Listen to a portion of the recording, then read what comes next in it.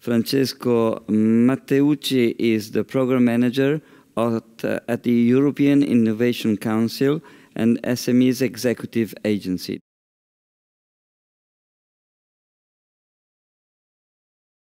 is sustainability. It's uh, it's becoming more and more a buzzword, but we always have to remember that uh, when we speak about sustainability, we think of something that is at the convergence of the economy, environmental, and social aspect. So where these three things merge, that's the sustainability. And when we think of some definitions, we have to consider that the definitions are well written when we speak about sustainable development and well written when we think about the 17 SDGs. So these are the, the, the three ideas, the three concepts that comes to my mind every time I speak of sustainability, trying not to make it too easy because it, it's true that it's a buzzword, but it's not so true that it's so easy.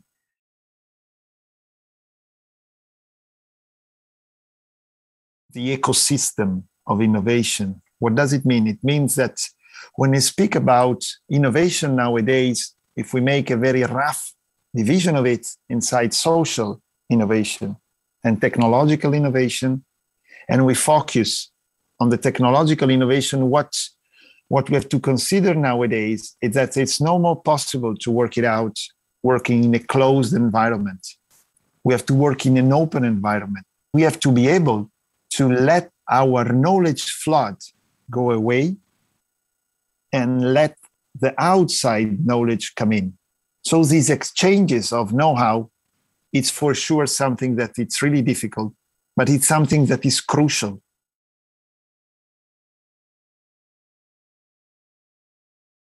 Innovation, it's a path, it's a process that starts from an idea and goes to the final product that is coming out from this idea. And this path includes many things the r&d part the business development part the standardization part and the market uptake.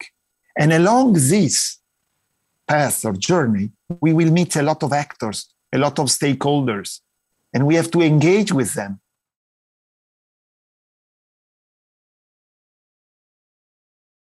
Two main kind of resources money and people. We need the right people in the right place working in a right environment to make the things going on. And on the other side we may we need the right amount of money in the right moment and we have to be able to manage and spend it properly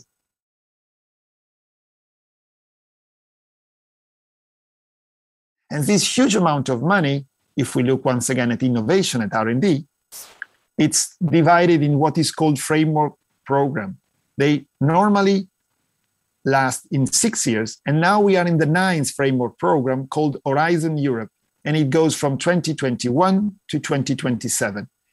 It, it will spend 100 billion euros in R&D and innovation activities. It is divided in different pillars, and the money is given to R&D centers, to companies, to small, medium enterprise companies and corporates, to funding agencies, and so to all the ecosystem. And how does it work, this money? This money is, is divided obviously in topic, but there is also the possibility to get this money, what is called on bottom up polls. What does it mean? That the money is given to the best ideas in whatever field it is.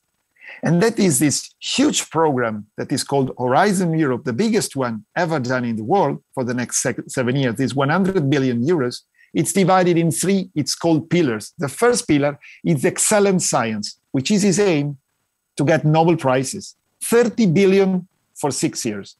Then we go to the cluster two, the pillar two, sorry, that is divided in cluster, in thematic clusters, get gives the money to researchers already almost out of the research lab, going to, and this money is invested in partnership, divided in topics such as health, energy and environment.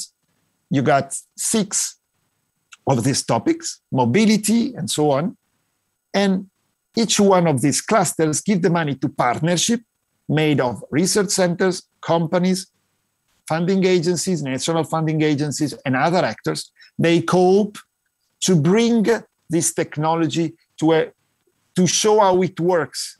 Okay, they cooperate to develop once again the innovation.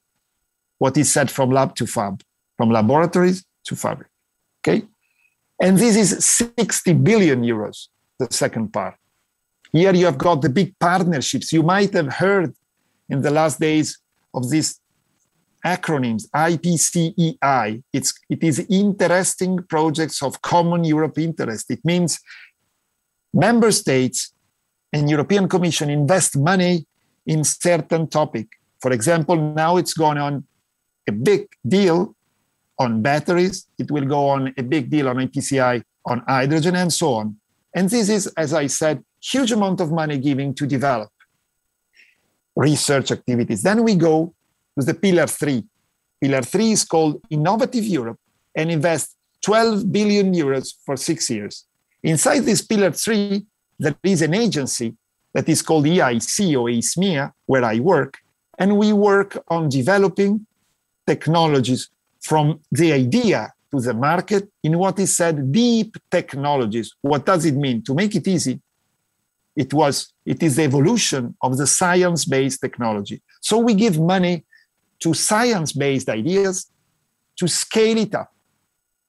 In this three pillars is, is given through calls, open calls, where you get the topic on where you have to apply for your research, or in some cases there is no topic, there is only the money. You apply with your idea, you are evaluated, and if you win, you are going to implement your project. Okay? And once you implement, obviously you have to show to European Commission which are your deliverables, which are your research results, sorry, and how you invest your money. And so they check. Normally they monitor how the, pro- the project is progressing.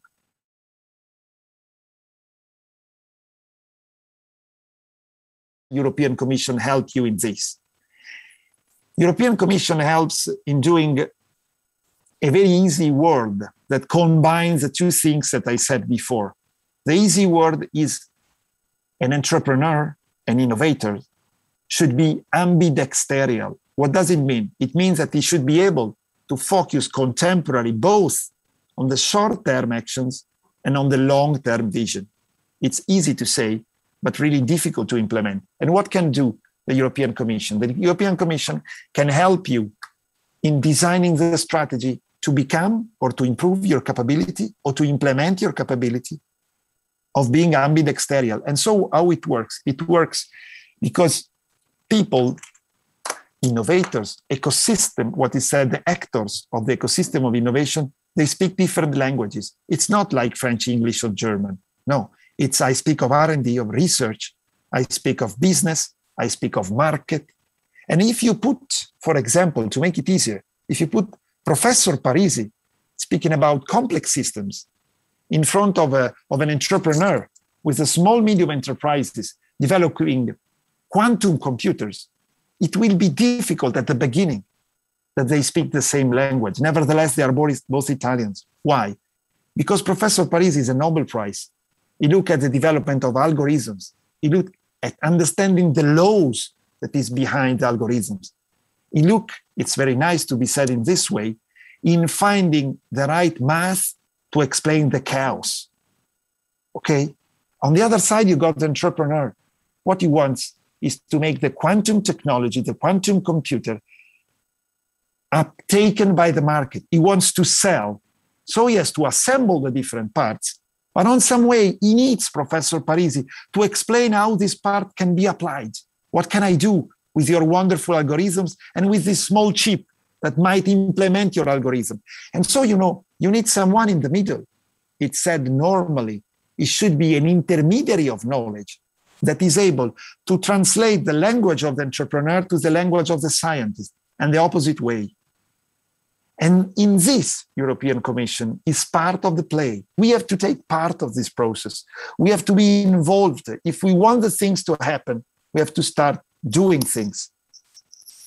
If you want to be part of the change, you have to be the first thing changing things. Because there is a normal it's called aversion of human being to change. And we have to overcome this. We have to understand that we have to manage the process. We have to design the process. to make things work using Europe as a basement, we have to start thinking once again in an ambidexterial way. We have to study to make this.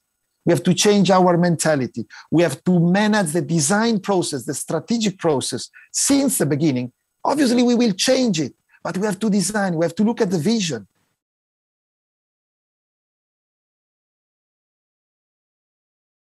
European Green Deal, it's a big boost, not only for Europe, but for the whole world.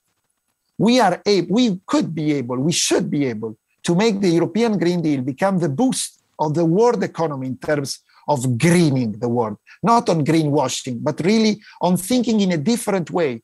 The ecosystem of innovation for sustainability is the future. There will be millions of jobs here, and we have all to develop our own culture and to share our culture to make it happen. Thank you.